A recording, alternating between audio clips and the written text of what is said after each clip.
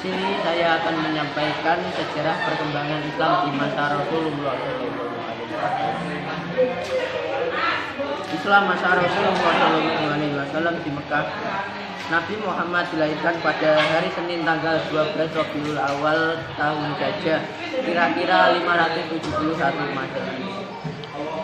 Dinamakan tahun gajah karena pada waktu kelahiran beliau ada seorang gubernur dari kerajaan Nasrani Abyssinia yang memerintah di Yaman bermaksud menghancurkan Ka'bah dengan bala tentaranya yang mengendarai gajah. Belum tercapai tujuannya tentara tersebut. Allah telah menghancurkan mereka dengan mengirimkan burung ababil. Karena pasukan itu menggunakan gajah, maka tahun tersebut dinamakan tahun gajah. Di samping tidak pernah berbuat dosa, Nabi Muhammad Shallallahu Alaihi Wasallam juga ber, selalu beribadah dan di Gua Hiro. Sehingga pada tanggal 17 Ramadan beliau menerima wahyu pertama kali yaitu surat Al-Alaq ayat 1 sampai 5. Pada saat itu pula Nabi dinobatkan sebagai Rasulullah atau utusan Allah Subhanahu wa taala kepada seluruh umat manusia untuk menyampaikan risalahnya. Ini terjadi menjelang usia Rasulullah yang ke-40 tahun. Setelah sekian lama wahyu kedua tidak muncul, timbul rasa rindu dalam dada Rasulullah Shallallahu Alaihi Wasallam. Akan tetapi tak lama kemudian turunlah wahyu yang kedua yaitu syarat alam mudatsir ayat 1 sampai 7. Dengan turunnya surat tersebut mulailah Rasulullah berdakwah. Dakwah pertama kali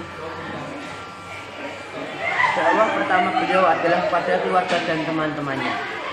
Dengan turunnya wahyu ini, maka jelaslah apa yang harus Rasulullah kerjakan dalam menyampaikan risalahnya yaitu mengajak umat manusia menyembah Allah Subhanahu wa taala yang Maha Esa. Yang tidak beranak dan tidak pula beranak dan serta tiada sekutu baginya. Satu, penyiaran penyiaran Islam secara sembunyi-sembunyi ketika wahyu pertama turun. Nabi belum diperintah untuk menyuruh umat manusia menyembah dan mengesahkan Allah. Jibril tidak lagi datang untuk beberapa waktu lamanya. Pada saat sedang menunggu itulah kemudian turun wahyu yang kedua Quran surat Al-Mudassir ayat 1 sampai 7 yang menjelaskan akan tugas Rasulullah SAW yaitu menyeru umat manusia untuk menyembah dan mengesahkan Allah Subhanahu wa taala. Dengan perintah tersebut Rasulullah SAW mulai berdakwah secara sembunyi-sembunyi. Dakwah pertama beliau adalah pada keluarga dan sahabat-sahabatnya. Orang pertama yang beriman kepadanya ialah Siti Khadijah atau istri Nabi. Disusul Ali bin Abi Thalib sebagai pamannya dan Yaid bin Harithah sebagai juga Nabi yang dijadikan anak angkat. Setelah itu, beliau menyeru Abu Bakar sahabat Nabi. Kemudian dengan perantaraan Abu Bakar banyak orang-orang yang masuk Islam. Menyiarkan Islam secara nomor dua, menyiarkan Islam secara terang-terangan. Penyiaran, penyiaran secara sembunyi-sembunyi berlangsung selama tiga tahun. Sampai kurun waktu berikutnya yang memerintahkan dakwah secara terbuka dan terang-terangan. Ketika wahyu tersebut, beliau mengundang keluarga dekatnya untuk berkumpul di Bukit Sawa, menyerukan agar berhati-hati terhadap ajat yang keras di demikian hari. Bagi orang-orang yang tidak mengakui Allah sebagai Tuhan yang Maha Esa dan Muhammad sebagai Tuhannya, tiga tahun lamanya Rasulullah Shallallahu Alaihi Wasallam melakukan dakwah secara rahasia. Kemudian turunlah firman Allah Subhanahu wa taala surat Allah Hijr ayat 94 yang memerintahkan agar Rasulullah berdakwah secara terang-terangan. Pertama kali seruan yang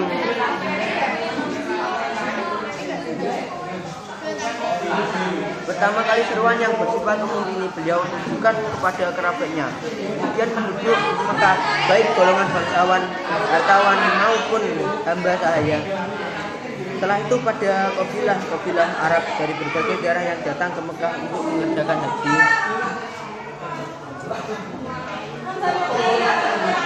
Sehingga lambat laun banyak orang Arab yang masuk agama Islam.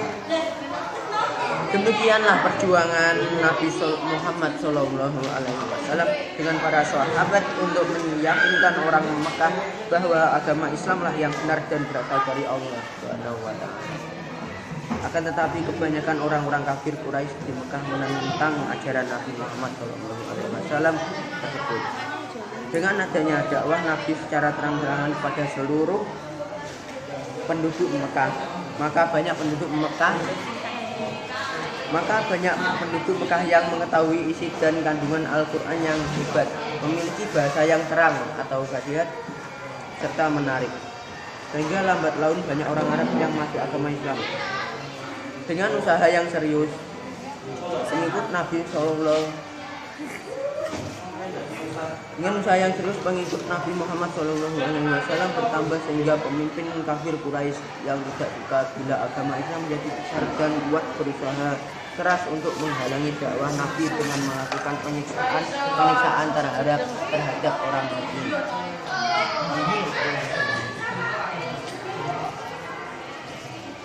Banyak hal yang dilakukan para pemimpin Quraisy untuk mencegah dakwah Nabi.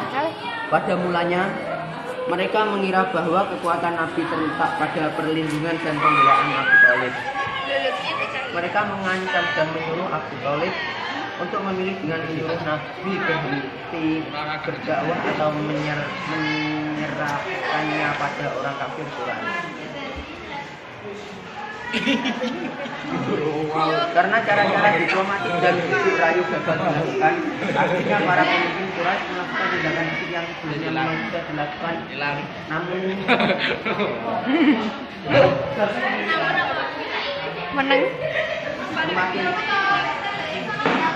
karena cara-cara diplomatik dan bujuk rayu gagal dilakukan, akhirnya para pemimpin Kau sekali madep karep memang sudah dilakukan, namun sengaja dilancarkan. Apabila orang Quraisy tahu bahwa di lingkungannya ada yang ada yang masuk Islam, maka mereka melakukan tindakan kekerasan semakin intensif lagi. Mereka menyuruh orang yang masuk Islam meskipun anggota keluarga sendiri atau hamba sahaya untuk berkita supaya kembali kepada agama sebelumnya. Agama yang dilakukan oleh Mekah terhadap kaum muslimin mendorong Nabi Sallallahu Alaihi Wasallam untuk mengungsi mengungsi dan sahabat-sahabatnya keluar Mekah. Dewi malah. Sehingga pada tahun kelima, kerasulan Nabi Muhammad SAW menetapkan Hadsyah sebagai negeri tempat untuk mengungsi karena rajanya pada saat itu sangat adil. Namun kafir Quraisy tidak terima dengan perlakuan tersebut. Maka mereka berusaha menghalangi hijrah ke Habsah dengan membujuk Raja Habsah agar tak menerima kaum muslimin. Namun gagal. Di tengah-tengah sang sengitnya kekejaman itu dua orang kuat Quraisy masuk Islam yaitu Hamzah dan Umar bin Khattab hingga memperkuat posisi umat Islam. Hal ini memperkeras reaksi kaum Quraisy. Mereka menyusun strategi untuk menentukan melumpuhkan kekuatan Muhammad Shallallahu Alaihi Wasallam yang bersandar. Cara yang ditempuh adalah pemboi pemboi kota. Mereka memutuskan segala bentuk hubungan dengan suku ini. Persetujuan dilakukan dan ditulis dalam bentuk piagam dan disimpan dalam Ka'bah. Akibatnya Bani Hashim mengalami kelaparan, kemiskinan dan kesengsaraan yang tiada bandingnya.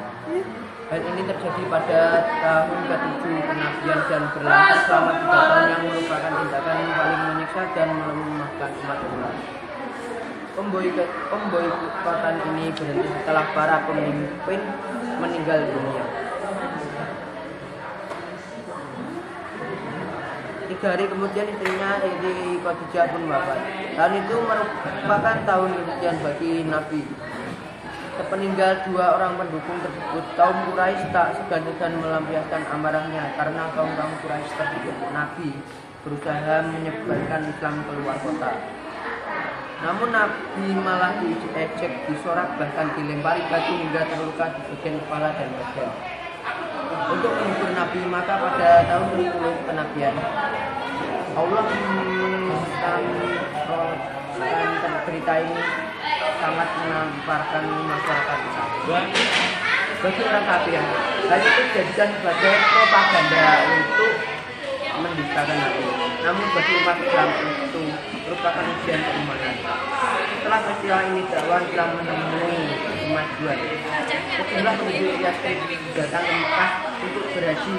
Mereka terdiri dari suku Khosroj dan Aus yang masuk Islam dalam tiga bulan.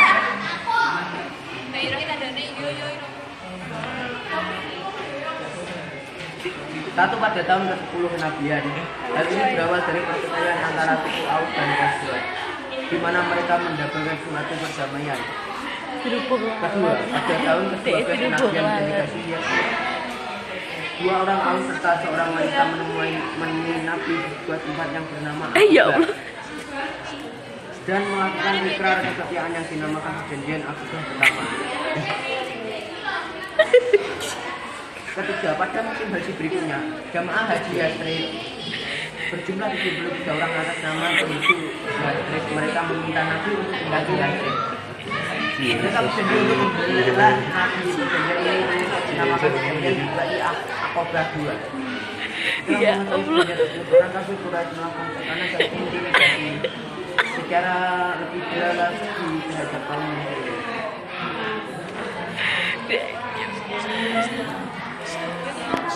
Ada pun cara yang dilakukan orang Quraisy dalam melancarkan pembukaan terhadap Rasulullah Shallallahu Alaihi Wasallam dan pengikutnya sebagai. Mengecek, menghina dan menertawakan orang-orang muslimin dengan maksud melecehkan kaum muslimin. Mengecek ajaran Nabi membangkitkan keraguan, menyebarkan anggapan-anggapan yang orang-orang terdahulu. Menyajikan beberapa tawaran pada orang Islam yang menukar keimanannya dengan kepercayaan orang kafir Quraisy.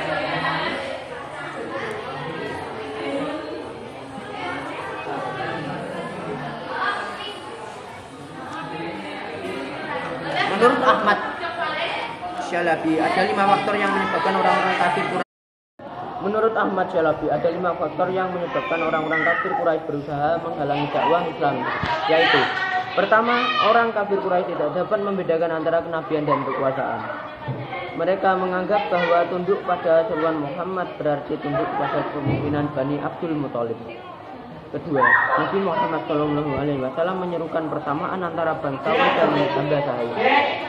Ketiga, para pemimpin Quraisy tidak dapat menerima adanya hari kebangkitan kembali dan hari pembalasan di akhirat. Keempat, taklid pada nenek moyang adalah kebiasaan yang berakar pada bangsa Arab. Dan yang terakhir, kelima, pengamat dan penjual patung menganggap Islam sebagai penghalang rezeki mereka. Sekian dari saya. Wabillahi taufiq wal hidayah wa ridha wal inayah. Wassalamualaikum warahmatullahi wabarakatuh. Paten ono tuh gitu.